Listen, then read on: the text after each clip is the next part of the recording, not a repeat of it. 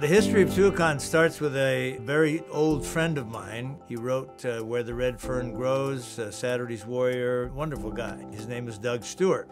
And he came to me in 1992, as I recall, and said, I've had this vision of uh, an amphitheater somewhere in southern Utah where we can do shows and have a music school, and would you help fund it?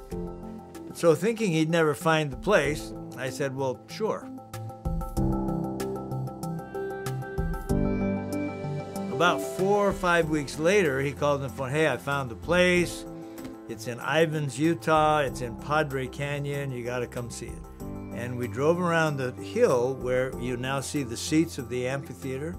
And here was a natural amphitheater. It had been there a million years. They only moved 12 inches of dirt to put those seats in. And I always like to think that millions of years ago or thousands of years ago, whatever your geological beliefs are, there were people down there sermonizing, talking, gathering groups in that canyon because it is a natural amphitheater. I saw Les Mis. I don't know if it was the music, if it was Jean Valjean, or if it was just the story that an act of kindness can really change a person and then they can go about doing good.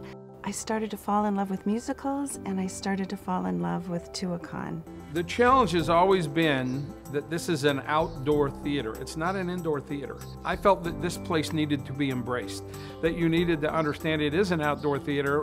What makes that different? And we've embraced that instead of running away from it.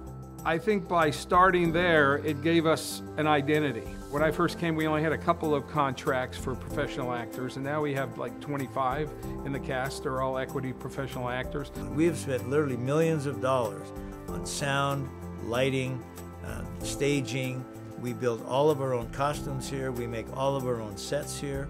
That's an 80 foot stage. So when you build a set, you can't build a normal set. We spend millions of dollars on these productions. This is really a lot of money. And there are things that we can do here that you can't do anywhere else, which is a lot of fun. We have concerts, 10 or 12, sometimes 14 concerts a year. We have a problem that we can only seat 2,000 people. The big names need a four to 6,000 seat venue. We only have a 2,000 seat venue. And so we're trying to figure out how do we get more seats. Well, you walk into this beautiful amphitheater and you have no idea what beauty is tucked away back here.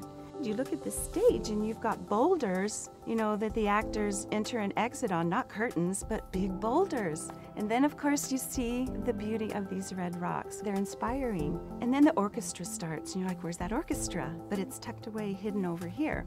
The actors come on stage and they almost outshine the beauty of this place. My favorite thing about Tuacahn is the impact that we have on people's lives for good. We do try to say with everything we do, expect the unforgettable. Part of that is because children are involved. We get a lot of children that will come to these certain shows that we do. And just to watch a child react to live theater, the costumes, the sets, the canyon, is really inspirational. That's magical in and of itself.